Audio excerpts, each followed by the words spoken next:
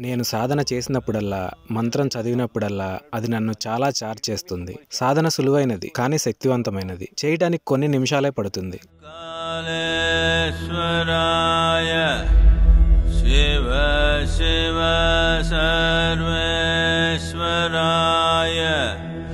Shambho శంభ